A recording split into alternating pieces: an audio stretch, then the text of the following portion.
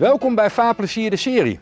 We gaan het hebben over de voorrangsregels op het water. Maar voordat we die gaan behandelen, gaan we even een paar definities en reglementen doornemen, zodat we daarna precies weten wat we nou bedoelen. Het allereerste wat we gaan behandelen is het BPR, het Binnenvaart Politiereglement. Daarin staan voor het grootste deel van Nederland de verkeersregels. Daarin staat dus precies wie er wanneer voorrang moet verlenen op het water. Er zijn een paar grensgebieden waar andere reglementen van toepassing zijn. Denk aan de Westerschelde, denk aan de gemeenschappelijke Maas, denk aan de Eemsdollard.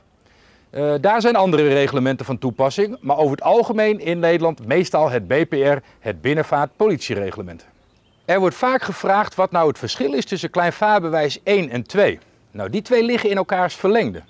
Je hebt een klein vaarbewijs nodig als jouw boot langer is dan 15 meter of sneller kan dan 20 km per uur.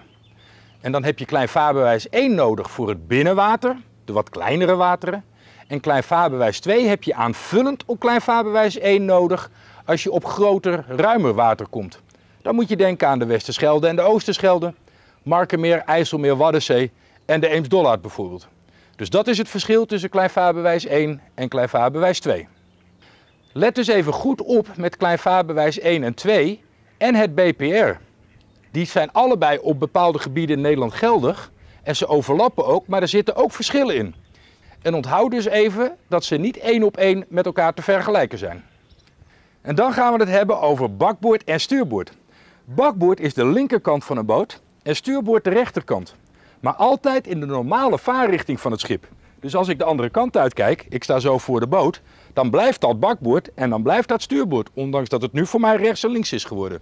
Dus bakboord is links in de normale vaarrichting, stuurboord is rechts in de normale vaarrichting van de boot.